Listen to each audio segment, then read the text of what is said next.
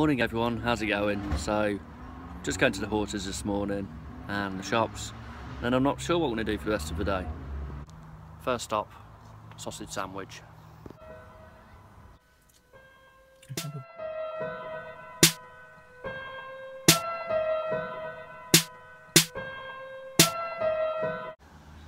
Been looking at a few houses in Scotland this morning. Uh, got a short list of about four or five. So I think when we go up to Scotland in a few weeks time, we're gonna have a look. I just want to make the dream a reality at some point. So I don't know when it's gonna be, but one day I really want to live in the Highlands. And it'll be perfect for the horses, perfect for the photography and the drone stuff, and cycling as well, which I'm really into as well. Just in Leamington getting ice cream.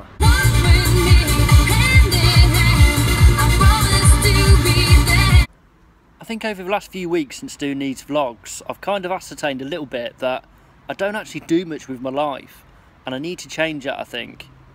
Before taking on this bin man job, I used to do a lot of cycling, I used to do maybe 150 miles a week, used to get out and about, go all over the place, but I don't know, I need to up my game a little bit and start doing more exercise in the evenings I think.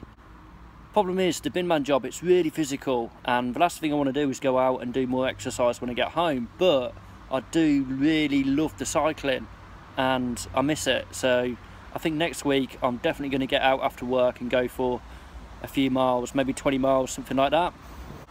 And it'll help with the vlog as well because at the minute I'm kind of vlogging at work and then maybe things I do at the weekends and stuff, but I haven't really been doing anything that interesting recently. So that's the problem with vlogging daily. It is really hard to kind of come up with ideas for content. So next week I'm going to go out on the bike and if I don't then send me a message because I need a bit of a kick up the arse a little bit to be honest. So this afternoon I'm just going to go through every vlog which I've posted so far, write some notes against them, and then try and come up with some ideas and come up with some ideas for some stories because that's what I want to do is I want to share with you guys some of my experiences from the past, some of the funny stuff that's happened to me and that kind of thing and hopefully through getting the drone license I can kind of inspire people to do things that they wouldn't necessarily think that they would be capable of because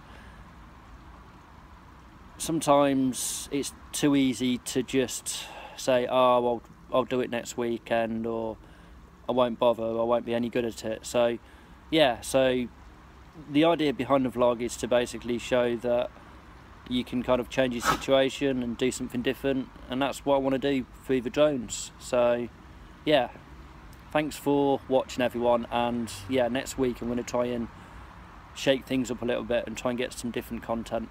See you in a bit, people. Have a good Sunday. See ya. Bye bye.